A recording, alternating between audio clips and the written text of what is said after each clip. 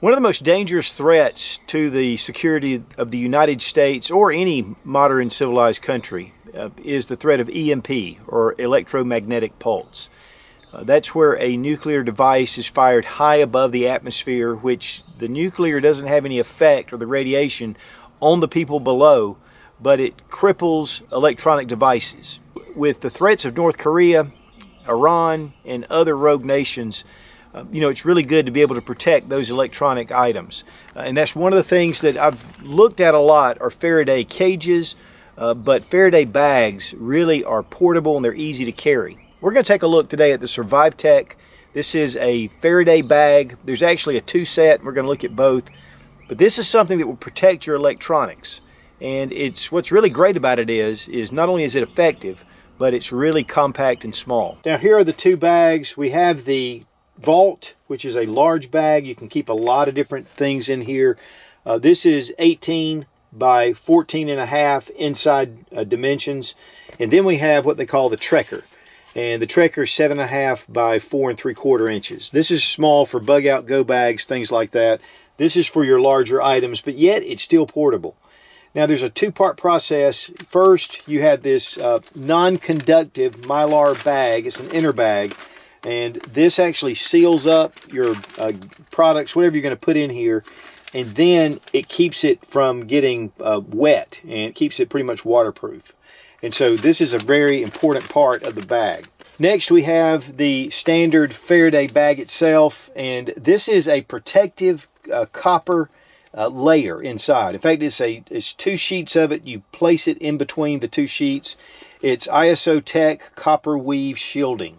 And again, there's a lot of research that's gone into this material, and uh, a lot of it's used by the U.S. military currently. Now, one test that we use to see if these are EMP proof is if this phone will receive a, uh, a phone call.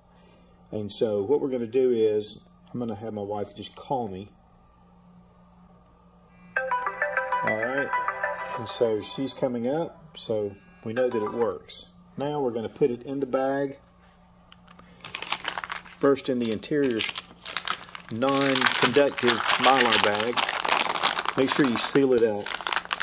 This is going to protect it again from the elements as well, make it water resistant. Now one thing that's important is that you get it in between the two copper sleeves. Uh, one time I actually put it on the outside here and I was getting signal and I was thinking, what in the world? So you've got to make sure that you get it in between the two mesh pockets.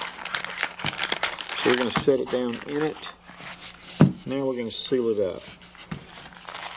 Make sure you get a really good seal on that Velcro. There's no way for the uh, waves to get to your phone. All right, now we're going to try it, and so we're going to make a call.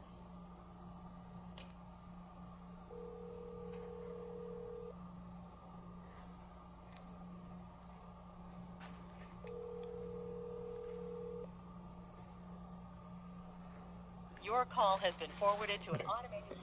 All right, you'll notice that it says no service. So this locks it down, and uh, and we have really good cell service here at this house, so that is not normal. So good thing is it works. What kind of items would you keep in a in a Faraday bag? Well, of course, you know some kind of communications.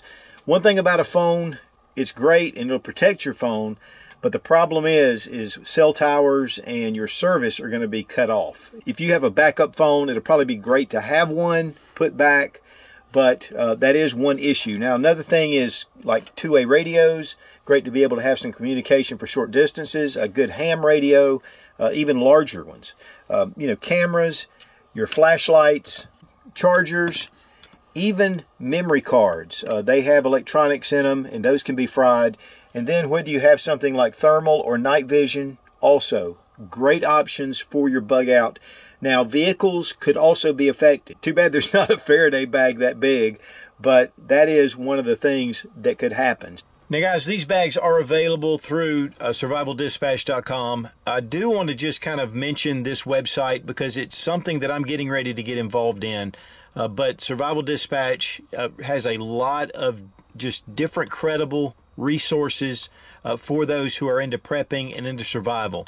In fact, right here in this picture is Chris Weatherman, who wrote the Going Home series, and he is one of the contributors. I will be doing exclusive content on Survival Dispatch. More information coming up about that.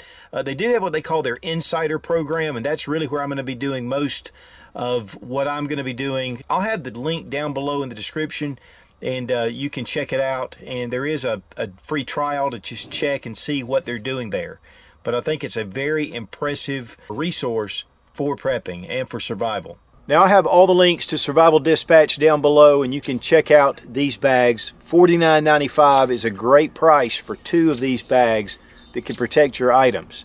And also with the uh, Survival Dispatch Insider, guys, I think that is a great resource if you're looking for uh, really credible ideas and things about survival, about prepping, and I think that'll help you to get prepared for about any emergency situation.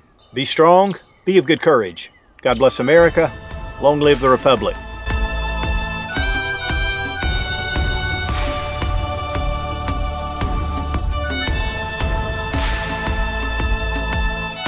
Electronical. Now I found out about these prepper bags by in the survival batch survival batch okay. Survival dispatch. the population will die within one whoops. To make them just really excellent